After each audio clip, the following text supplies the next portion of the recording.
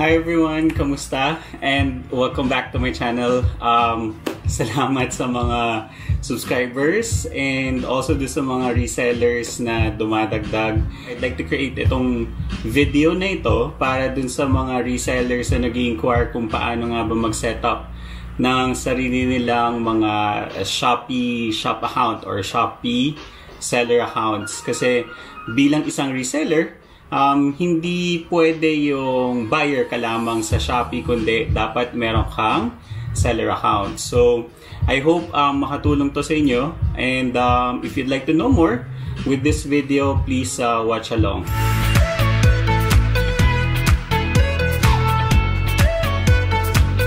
So, let's start with the Shopee seller account, kung paano nga ba mag-setup. So, gamit ko yung aking um, MacBook, yung laptop ko. And then, um, setup na tayo. So, from here, um, login ako. Click ko lang yung login. So, kung kunwari nakapag-login na kayo before or meron na kayong account, um, lagay nyo lang yung phone number or yung email address na gamit ninyo. So, yung sa akin, ito yung gamit ko. Bali, ito yung aking ano, um, buyer account, no? Yan. Tapos, login.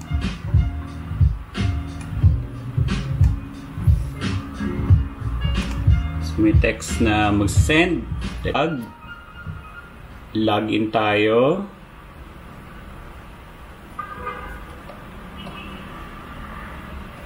From here, um, since meron akong buyer na account, click ko yung Seller Center.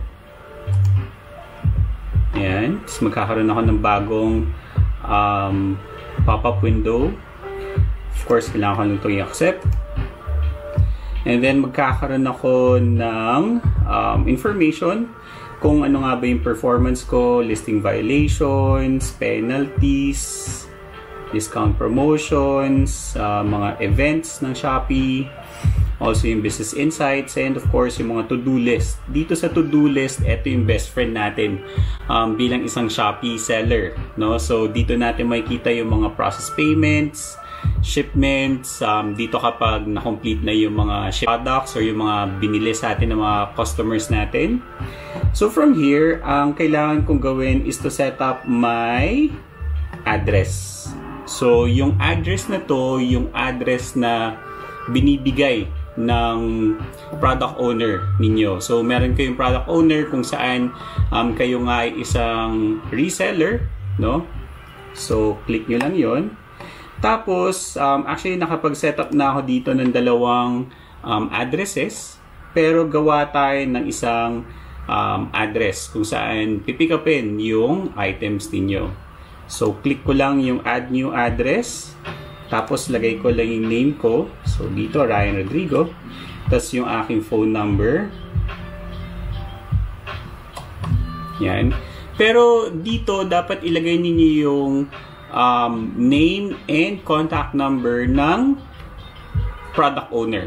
Para kasi, um, since bahay or warehouse yan ng product owner ninyo, sila yung kukontakin ng JNT or ng Ninja Van na tao or na rider para kunin yung mga items dun sa location nila. Yan. So, ilagay ninyo yung um, contact details ng product owners nyo dyan. So, from here, um, lagay ko lang yung aking region. Pipiliin ko kunwari yung Metro Manila. From Metro Manila, um, kunin ko Pasig City. Tapos, um, yung kung saan man yung aking barangay. Yan. So, sa San Antonio ko. Tapos, yung aking um, address. So, your detailed address here. Yan. And don't forget to include yung postal code. Yan. So, nilalagay ko yung postal code. Required siya sa Shopee. Yan. Tapos pwede nyo lagay kung setup as default address, pickup address, or return address. Now, yung default address, yun yung magiging um, return address din kapag wala ka ng ibang address na nakalagay sa inyong account. Um, pwede ito kapag kunwari um, reseller ka lang ng isang item. Pero kung reseller ka ng multiple items, magandang maglagay ka ng sarili mong address, yung bahay mo kunwari, tapos yun yung default address mo. Yun. Tapos yung pickup address, um, pipiliin mo siya bawat may order sa'yo. If it makes sense. Kasi baka iba-iba yung mga product owners mo. So, dapat yung mga pickup addresses magkakaiba rin. So, mas maganda na default address mo yung bahay mo. No? So, nilalagay ko as pickup address din yan. Yung um, return address naman ay dapat sa um, product owner address mo din. So, bakit ganun? Kasi kapag may problema doon sa item, o kaya kapag kunwari, um, kinancel ng buyer mo yung yung pagbili do sa product, kailangan maibalik rin yan dun sa product owner. Actually, pwede namang maibalik sa iyo eh, may punta sa address mo. Yun nga lang, ang mangyayari, babayaran mo na yung item kasi nasa iyo na, hawak mo na yung item, di ba? Yan. So, um, dito setup lang natin as default address and pickup address. Click save. Tapos, ayun. Bali, nakasave na yung um, address na ginawa natin. And then, uh, from here, mag-add na kayo ng mga products ninyo. So, um, kanina nag-try rin akong mag-add ng sarili kong product. Kunwari, so meron akong iPhone case. Tulad ng mga um, cases ko nga na ina-add ko, di ba? Or yung mga binibenta namin. Pwede kang mag-add ng new product. Tapos yung product name And um, lagay nyo na lang yung pinaka name niya. Yan. iPhone case. Uh, medyo too short daw for iPhone Pro Max.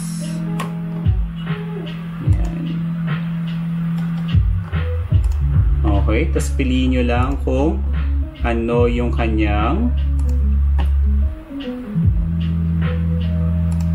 um, category.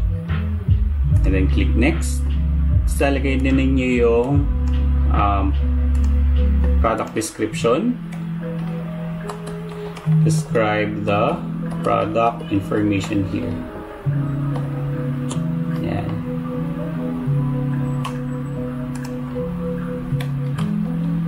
make sure the description is not too short as required.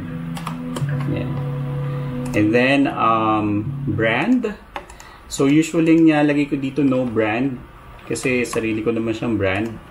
And then yung price, depende kung ano yung napag-agrihan ninyo. Price, I would recommend na mag-add pa kayo from the SRP na binigay ng product owner ninyo. Kasi, um, nagtaas si Shopee ng ano eh, ng commission niya eh, ng commission rates. So, para hindi para hindi kayo uh, malugi, uh, mas magandang maglagay kayo ng mas mataas pa dun sa SRP ninyo.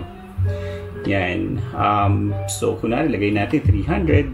Tapos, pwede kayo mamili kung JNT or um, GoGo Express. Usually, si customer naman yung magbabayad kung magkano yung shipping So, pwede ninyong piliin dyan kung ano yung ibibigay ng um, automated ng Shopee para sa inyo.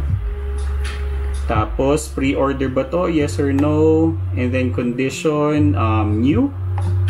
And then save and publish.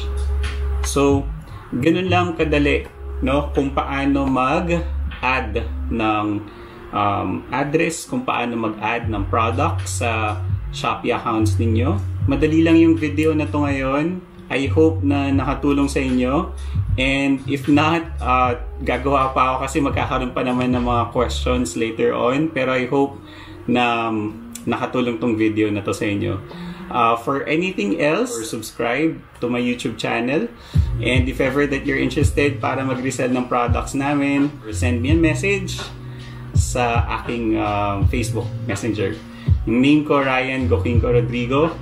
Again, maraming salamat. Um, stay safe guys and I'll see you on the next clip. Bye-bye.